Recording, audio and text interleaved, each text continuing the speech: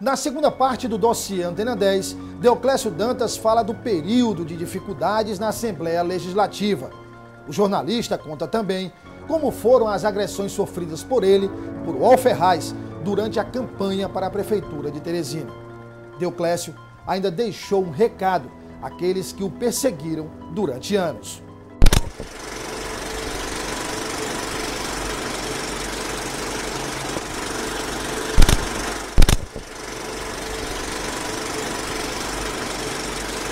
Um outro período difícil enfrentado por Deoclésio foi na Assembleia Legislativa. Além da discriminação sofrida por ser oposição, ele chegou a ser enquadrado na Lei de Segurança Nacional. A primeira coisa que eu tomei susto, eu estava é, no sítio aqui de um amigo meu, pouco antes de assumir a Assembleia, primeiro mandato. Aí eu vi uma entrevista na televisão do senhor cidadão que assumiria o governo no ano seguinte, que era o ano da posse do novo deputado. E esse cidadão disse na televisão: escolhi para presidente da Assembleia Legislativa o deputado Afrano Nunes. Escolhi para vice-presidente o deputado Barros Araújo. Escolhi para não sei quem, fulano de tal dos Anzóis. Aí, tudo bem. Eu fui para a Assembleia.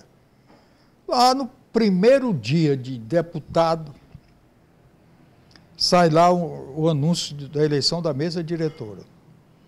Aí proclamaram que a votação era secreta. Aí quando disseram isso, eu não me contive. Eu digo, não, eu peço aí uma questão de ordem, qualquer coisa que o valha. Eu digo, isso, votação secreta? Tem outra chapa aqui? Não. Todo mundo sabe do Piauí que o governador que vai assumir, porque a Assembleia assumia antes do governador. Era uma eleição indireta já disse quem vai ser o presidente, o vice-presidente, o primeiro secretário da Assembleia. E qual é a coisa secreta que tem aqui? Isso é uma empulhação. Aí eu irritei o mundo, rapaz. Irritei, irritei. É, não dava para segurar aquilo. Porque a farsa tem que ser do tamanho que os donos do Estado querem. Aí eu não concordei com aquilo, discordei, porque discordei. Aí daí para frente, meu amigo, o pau quebrou. O pau quebrou a Assembleia não tinha estrutura naquele tempo, o gabinete de deputado tinha um auxiliar de gabinete. Cada gabinete da Assembleia, um auxiliar de gabinete. Ô bem, e aí você tinha que fazer tudo, era tudo complicado, era tudo muito difícil, você não podia se deslocar para o interior, não tinha auxílio para passar de ônibus, não tinha vale de transporte, não tinha nada. Deoclésio revela os detalhes das agressões sofridas por ele e pelo ex-prefeito de Teresina, o Ferraz. Nós estávamos na no aquecimento para a campanha de 82, a agressividade é, é, comandada pelo dono do Piauí agrediu o, o, o professor Alferraz, quebrou a cabeça dele com pedra.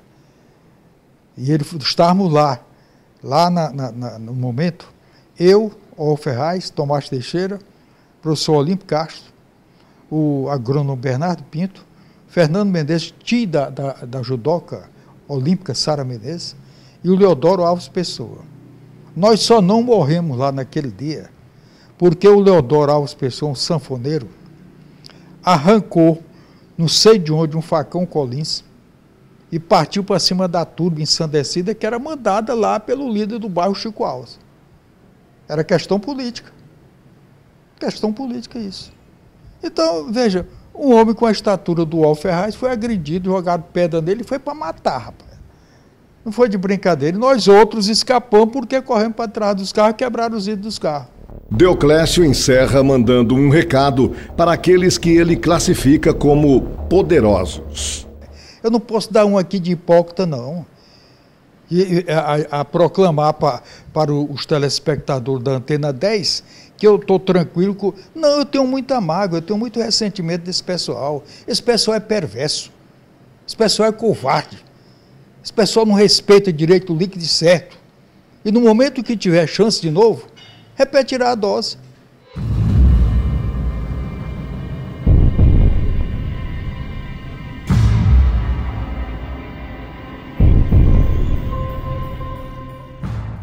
No próximo dossiê Antena 10, você vai acompanhar uma entrevista exclusiva com o jornalista da Rede Record, Paulo Henrique Amorim.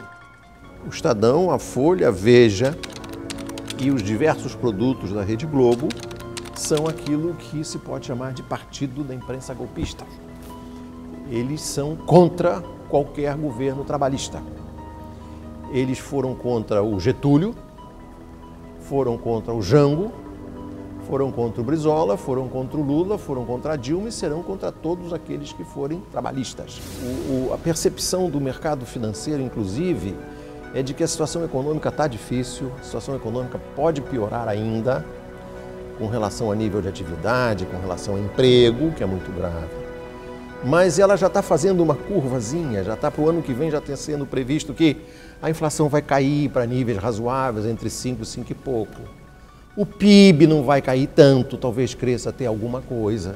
Entendeu? O emprego vai voltar a melhorar. A perspectiva para 2016 não é, não é uma perspectiva de quem está na UTI. Impeachment por quê? Ué, não está satisfeito? Ganha a eleição de 2018. Próxima sexta, às sete da noite. Bom final de semana e até lá!